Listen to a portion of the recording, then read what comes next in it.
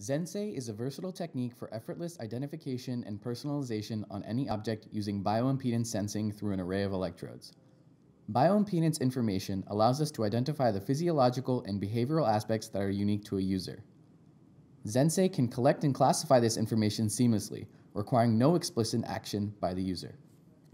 In this video, we demonstrate three example configurations showcasing Zensei's versatility and identification capabilities, as well as a number of potential application scenarios.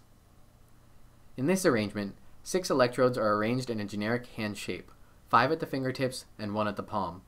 As the bioimpedance between electrodes is measured, a set of characteristic curves is produced, showing the amplitude and phase response of the signal.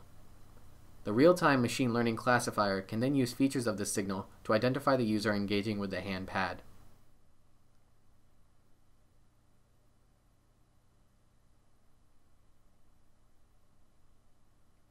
Because Zensei uses an AC signal, it does not require direct skin contact.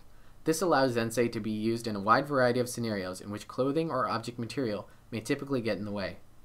In this arrangement, six electrodes are placed on the bottom, back, and armrests of a chair. As the user sits into the chair, Zensei is automatically able to identify the user. This could allow connected furniture to customize an experience for a user by remembering and setting preset user preferences in the shared area around them. Because Zensei can be adapted to almost any shape, it can be built into the housing of everyday handheld devices. In this arrangement, a smartphone is connected with six electrodes, three on the left edge and three on the right. Zensei has learned both the physiological properties of the user and the ways in which the user typically holds the smartphone in order to recognize them.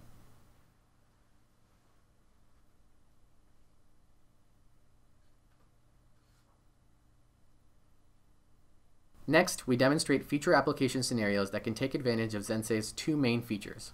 One, versatile, uninterrupted identification, and two, detection of physiology and behavior. One could easily imagine Zensei being implemented into the car driver's seat. Once the driver sits down, the car could automatically change the seat level, mirror angles, and favorite radio stations according to the user in the car. Zensei could also be built into a smart deformable doorknob that allows the user entry only when the correct user is touching the doorknob and the doorknob is grasped in a certain way. This opens up a whole new avenue for more seamless user interaction with behaviors, gestures, and flexible materials.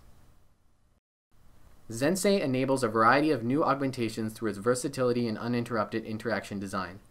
In an ever-growing connected device world, Zensei could play a key role in context detection by understanding both who is interacting and how they are interacting with their surrounding environment.